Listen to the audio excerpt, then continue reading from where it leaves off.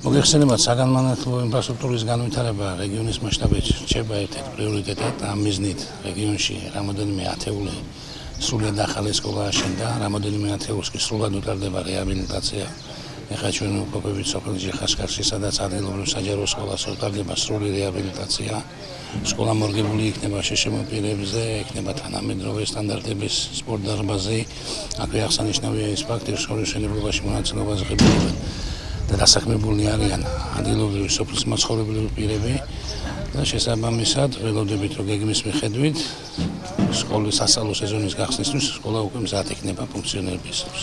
ცენტრალური და ადგილობრივი ხელისუფლების უნიშნულოვანეს პრიორიტეტს წარმოადგენს სასწავლო საგანმანათლებლო დაწესებულებების სტანდარტიზაცია, მათ შორის ინფრასტრუქტურის მიმართულებით.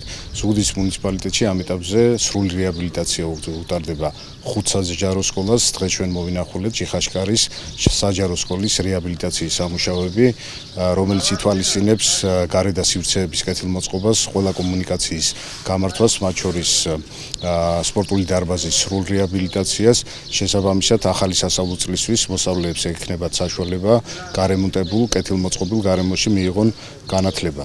პროექტის ღირებულება შეადგენს 2 მილიონ 925000 ლარს და იგი ფინანსდება ცენტრალური ხელისუფლების მხარდაჭერით.